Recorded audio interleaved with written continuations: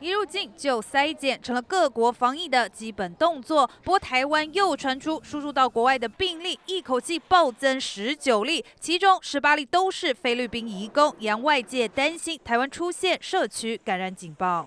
这个代表说，台湾的国内呢，在某些区块呢，似乎是有感染者存在啊。哦，那现在常常问题就出在，可能有怀疑，可是懒得做，或者没有怀疑，所以没有去做这个检查。就觉得说台湾应该都是没有哈，心怀侥心心存侥幸这样子，那这样就会比较危险。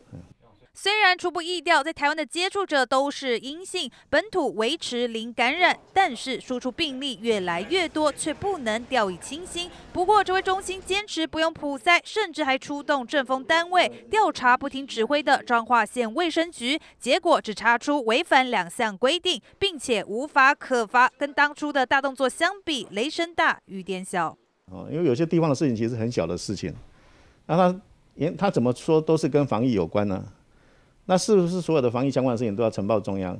不管多小的事情都要呈报中央？这个就是要去解释这个法令。地方如果超前部署，啊，比中央做的更积极的超前部署防疫，那这样算不算违法？哦，那你说会造成寒蝉效应吗？如果寒蝉效应，彰化县政府不会搞那么大一团嘛？